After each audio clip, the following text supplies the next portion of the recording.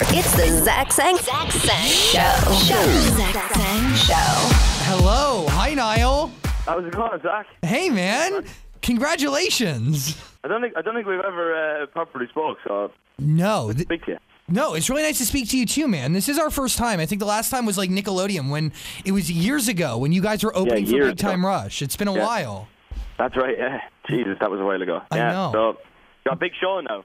Y- dude, dude, come on. Big show here, but big things for you, man. This town is out now. Congratulations. How are you feeling? Yeah, it's been great. It's been a busy morning, obviously doing a lot of interviews and stuff like that. Because obviously didn't do anything in the build-up. Kind of just wanted to uh, like drop it and just you know let people hear some music instead of you know watching a whole marketing plan. You know. Yeah, I, I, I, which I kind of like because this took everybody by surprise. I got the this was this has been the most secret e- interview I've ever done, hands down, hands down. And why today? Why was today, September 29th, 2016, the right day for the world to hear Solo Niall?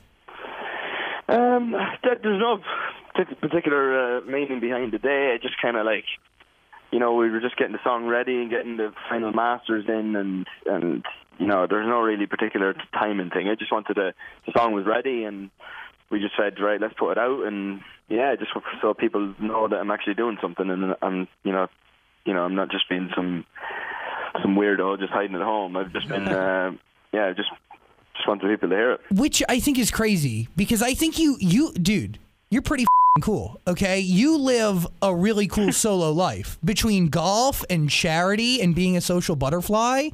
Have you enjoyed the time off a little bit?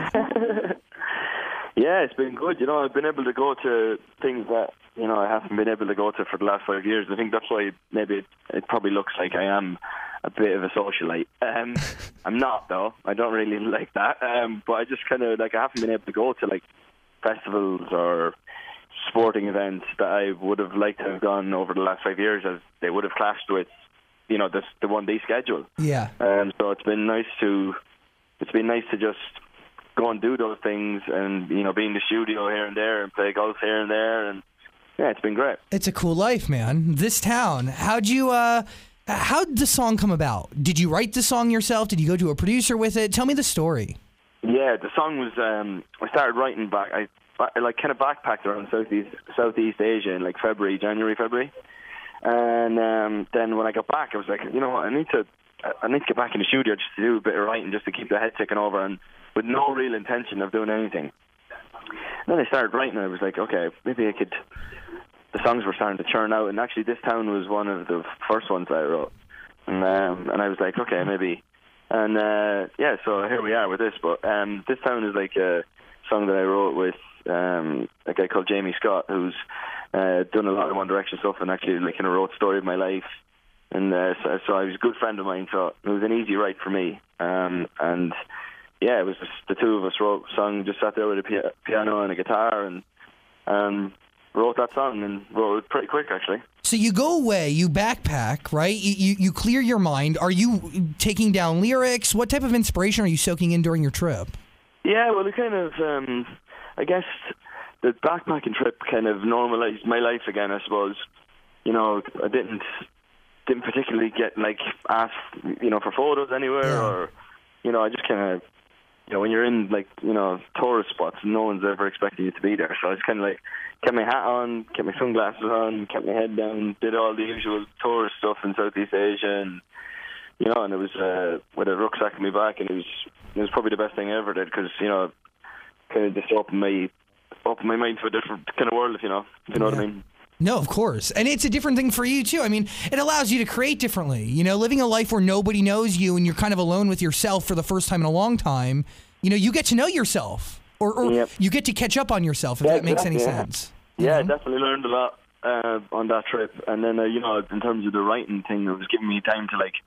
I like to have concepts. That's the way I like to write. So I have like my my letter bound book, and um, I will you know write concepts at the back of it, and then write the lyrics at the front. So that's why I like to have. A, I like to have a story because when you're writing with someone else, a story, a good detailed story, always helps with what the next lyric's going to be. So it's um, yeah, that's the way I like to write. Is this town a part of an album that is a bigger story? Yeah. Um, originally, it wasn't because I didn't really know if I was going to do anything, and then and then I was like, okay, maybe I should do something, and um, and I want to do it, obviously, because um, I wouldn't be talking to you if I didn't want to do it.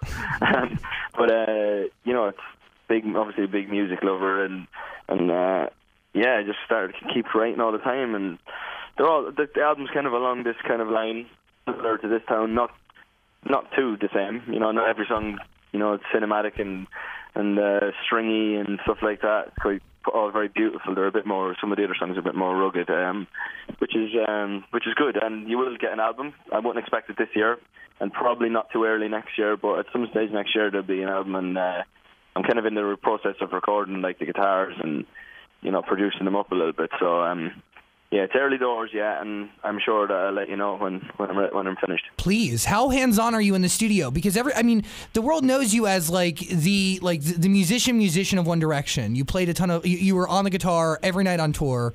Uh, how hands on are you in the studio? Yeah, big time. You know, I've, I've always have been. I uh, don't, you know, I don't think. I don't think anyone really gave, the, you know, the one day one day enough credit, you know, in terms of like you know what we were like in the studio and stuff like that. I think people just thought, ah, here we go, another manufactured lot who don't really write their own stuff, but. Yeah, um, people would be wrong if they thought that. Um, yeah. So we were all like in this this time around. It's all kind of me working with closely with producers and and knowing what I like in terms of sound and being inspired by different uh, different artists and how they would write and you know, in different ways of writing songs and stuff like that. So yeah, it was kind of very heavily involved in every song I knew. Like when I when I read a concept out in my head, I know exactly what I want it to sound like. But it's getting there is the problem, if you know what I mean. Yeah, of course. But I mean, you obviously, but you have an, it's new confidence, right? I mean, all the years of One Direction has kind of led up to this moment, right? Where you could go in there and you could have real 100% confidence in yourself while in that studio, you know? Like, I mean, that, that doesn't just come naturally. That came over time. Yeah, hundred percent. Yeah, uh, first our first album, like you know, we were all kind of you know scared of of you know the prospect of going into the studio as we'd never done it before. So over time, you learn to become confident and and you know know what you're good at, and you know obviously over the last five years, become a better guitarist and you know learn enough to play on the piano and you know stuff like that. So you learn a lot. So we made made things easier this time around. Has anybody in the band heard this town before it was released? Did you get, did you test any ears? No, see, the thing was, at the time I seen the boys last, it was a while ago, like I'd say about three weeks ago. I seen Louis three weeks ago, but it was like at my birthday party. So it's not like I could just go, everyone shut the music down, I want to play my song to my bandmate. you know what I mean? Uh, it's a bit, that would have been a bit strange. Um, so, yeah, so I, I'm sure they've heard it now. I didn't want to play like a crap version of it either, because at the time I didn't really have a, a I'm like a perfectionist, so I didn't really want a half-assed, um, you know, version of it to play. So yeah, I'm sure they've heard it now, and actually Liam just tweeted me. So yeah, so it's uh, everyone's happy with it, I think. By the way, we both know artists that would have stopped their own birthday party to play their new record for people. Come on now, come on now. I know. I've been. I've wit- I've witnessed a couple as well, and it's not very good. you, you you knew. Stay away collaborations, dude. Shawn Mendes is, is, he said the other day that you guys have been talking. You guys are going to work together, maybe. Yeah, well, we've always kind of spoken. You know, I met him at um, kind of like towards the end of last year.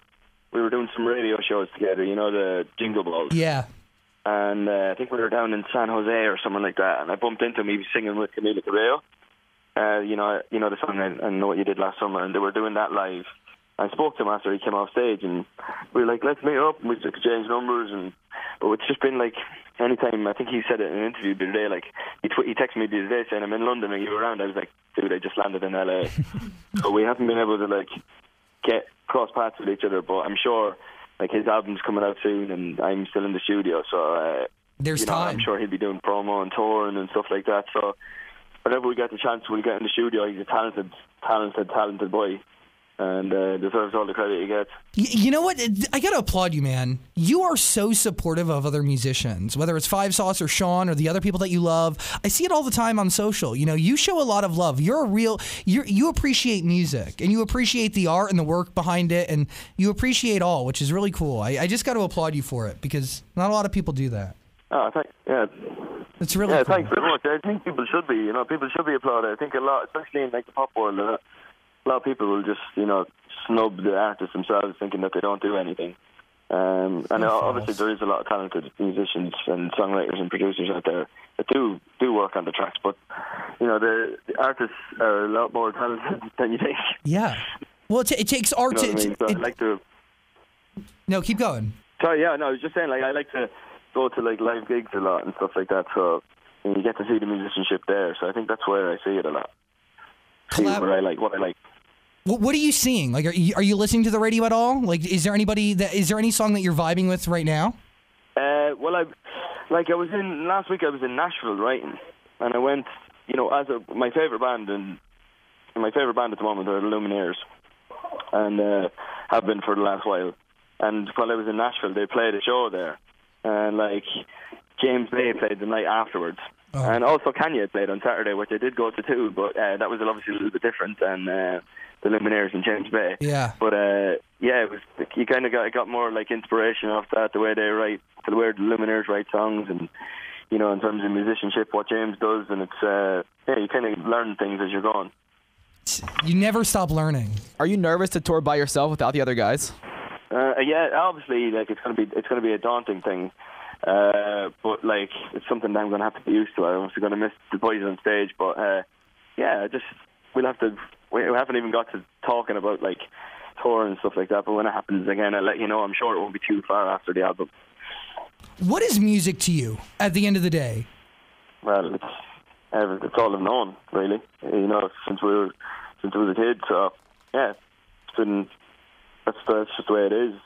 There's it's your you know you like your profession. That's what you know, and That's it. That's what I know. But you also know golf. I've I've uh, what you've done in the golf world, dude, has blown my mind. You have taken a passion of yours and you have made it into something so huge with Modest and with all the partnerships and all the management with all the players. Seriously, it's f***ing cool. Mm-hmm. It's really cool.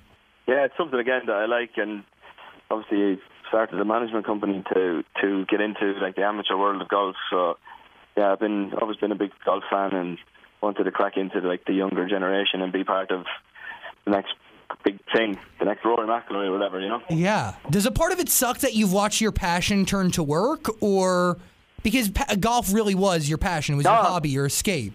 You know? Yeah, yeah, that's that. Uh, well, I kind of like it because then it, it, it suits me down to the ground. Because then I get to go to these golf tournaments and and you know have friends that are playing in them and have you know hopefully in a few years have players who are playing in them and you know and be proud of what they're doing. So yeah, it's great for me. I get to go and watch golf and get to be involved in golf world. Niall, this town, the song is awesome, man. A completely new sound, a really incredible direction, and just correct me if I'm wrong. At the end of the day, the song is pretty much about you can't move on from a girl, right? Everything you look at, everything you see, everything that you think about, it eventually comes back to her. Is that right? Yeah, yeah, kind of, yeah. Um, kind of the whole. It's kind of for me. It's got like a double meaning. Uh, that's the, like you know everyone's going to interpret it a different way. To me, that the way I look at it is uh, kind of about a girl. You know, from from your home. If you're from a small town, you'll know this. Like every time you go back to your hometown, you'll always see this girl in the bar or whatever, and you know, and then everything comes back to you. So, and then the other part of it is the town itself. You know, no matter how whatever you do or where you live, you always when you go home, you know, everything comes back to the town. It's, to me, that's the way I kind of wrote it. It was kind of like a double meaning. So, what is the future of One Direction now that you guys are all working on solo projects? Again, you know, it's uh, at the moment it's it's you know quite you know Harry's doing the movie and doing the album. You know, Liam's doing his thing, Louis doing his thing, and you know, it's just uh, for the foreseeable. It's you know our own projects, but there's no doubt I would definitely will not rule, uh, and I won't let anyone rule out the return of One Direction because it's inevitable. Let's be honest.